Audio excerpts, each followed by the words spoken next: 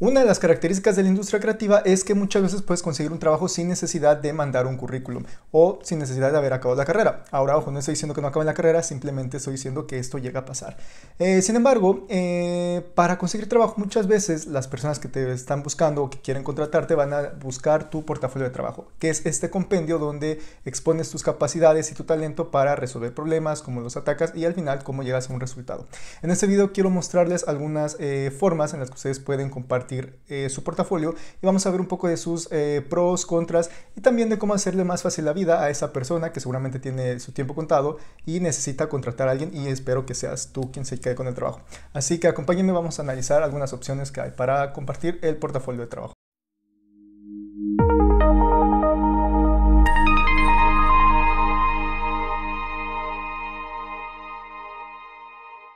La primera forma, y diría que es la más sencilla y es una de sus ventajas, es hacer un PDF. Ahora es sencillo porque prácticamente cualquier programa te permite exportar el archivo a PDF. Puedes hacerlo desde un Word, un PowerPoint, o si ya tienes un nivel más avanzado y manejas Photoshop o Illustrator, lo puedes hacer desde ahí.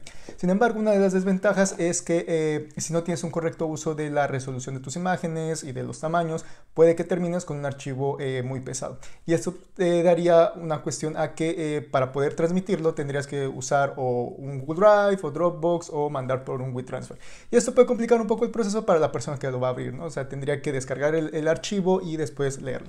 Otra de las desventajas es que eh, la navegación en este documento puede que no sea la mejor y, generalmente va a ser lineal a menos que puedas tengas un conocimiento un poco más avanzado de cómo generar un PDF y puedas eh, hacer índices y que puedan navegar entre ellos. Sin embargo, si no y lo haces de forma más sencilla, eh, la navegación tendría que ser lineal. Y esto puede ser un problema porque la persona que lo esté leyendo, imagínate que estás buscando un, empleo en una empresa de mobiliario y que tienes 10 proyectos y 7 son de POP, 2 de perritos y el último es de mobiliario. Entonces la persona que lo va a leer va a tener que aventarse esos 7 proyectos de POP, esos 2 de perritos y hasta el final llegar al de mobiliario. Así que puede que le consuma más tiempo a esa persona y no sea lo, más eficiente posible. Eh, ahora, podrías hacer eh, un un portafolio específico para cada aplicación. A lo mejor si es el de mobiliario lo pones al principio o alguna eh, o adecuarlo para cierto tipo de eh, vacante, pero obviamente eso va a ser más trabajo para ti y tendrías que dedicarle tiempo a ajustarlo siempre a quien vaya. Entonces, eh, pros es sencillo de hacer, contras la navegación no es muy amigable o puede no serla y también tienes que tener cuidado en el peso para que puedas mandarlo y que sea fácil para la persona descargar la información y verla. Otra forma de compartir tu portafolio es hacer eh, uso de páginas o más bien de estas plataformas de contenido en la cual tú puedes crear tu perfil y empezar a subir tus proyectos. Eh, plataformas hay varias como mm, Behance, o Behance, o Behance, o Beyoncé. Behance, Behance, Behance, Behance. O eh, Dribble, que no es tan conocido, pero sin embargo existe. La ventaja de estas es que todo está en línea. Basta con que tú generes tu perfil, te registres y empiezas a subir proyectos. Eh, ¿Qué pasa con esto? Es tan sencillo como decirle a la persona que necesita ver tu portafolio, solo mandarle un link y que esa persona lo pueda abrir. Ahora una cuestión también, una ventaja es ah, la cuestión de la distribución porque eh, puede ver un panel de todos los proyectos y solo darle clic a los proyectos que esté interesado en ver. Entonces no tendría que aventarse todos los proyectos de forma lineal. Y otra de las ventajas muy buenas de estas plataformas es la parte de la ah, comunidad y esta parte de compartir tu trabajo. Y créanme, es cierto, de hecho a los chicos de Placebo que me han ayudado con la parte, alguna parte de diseño gráfico, eh, los encontré en Behance, vi su trabajo, vi sus proyectos, dije me gusta, me puse en contacto con ellos y a partir de ahí pues, hemos tenido varios trabajos juntos. Entonces, eh, no solamente es para mostrar tu trabajo, sí puede servir como plataforma para conseguir trabajo. Entonces, entre más ah, eh, puedas compartirlo, mejor. Sin embargo, diría que una de las desventajas es que eh, necesitas tener más cuidado con tu, uh, con tu uh, digamos así, con el diseño de tu portafolio. Ah, no necesitas tener un poco más de noción de qué vas a hacer. Sí, eh, puedes hacerlo directamente desde la plataforma, tienes un editor de texto, puedes subir imágenes, pero también puedes hacerlo tú desde Photoshop, Illustrator y después subirlo. Aquí se vuelve una decisión propia, pero también otra ventaja es que puedes ver lo que las demás personas están haciendo. Puedes ver no tu competencia, sino, o si quieres decir la competencia también, pero puedes enterarte de qué está haciendo una persona en Hong Kong y una persona en Corea del Sur o una persona en Los Ángeles sin necesidad de estar diciendo, oye, mándame tu portafolio, no, mándame tu PDF. Entonces, eh, esta parte de comunidad es muy buena en estas plataformas y eh, son gratuitas, así que pueden usarlas y también basta con solo mandarles un link para que la persona que esté interesada en su trabajo pueda ver todos sus proyectos.